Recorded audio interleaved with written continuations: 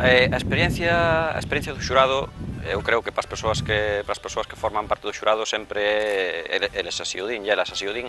é inesquecible, non? Porque porque claro, son persoas que nunca ou case nunca, pode haber algunha que xa formara parte de algún xurado, pero a maioría nunca formaron parte de ningún xurado. E claro, a, o, a, o ler en obras que sen saber en quen está detrás, quen é o autor, quen é a autora, eh, e lerenas de primeira man, eh, digamos, sin ningún tipo de corrección, nin de revisión e tal,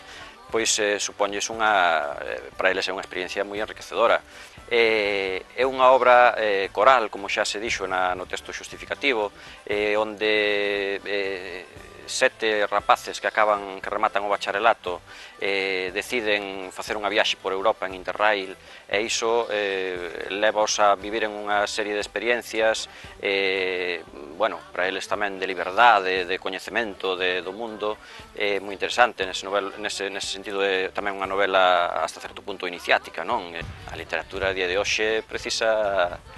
de todos os apoios posibles, quero decir, estamos en, en mínimos eh, realmente eh, a cultura en xeral está está non por parte das por parte das, eh, das administracións nestes, neste momento. Está recibindo moi poucas eh, moi poucas axudas, non só a literatura e, e e ben, eses, eses son os principais apoios. Despois tamén é certo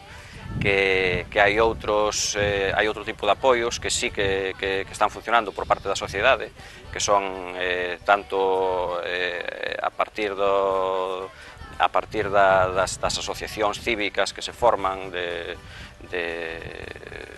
de, de, de asociacións de fomento da lectura como, como dos propios eh, centros de ensino, nas bibliotecas, das bibliotecas escolares, eh, do profesorado que, que leva a cabo ese, ese, tipo de, ese tipo de traballo e iso é fundamental, claro, sen, sen iso non poderíamos eh,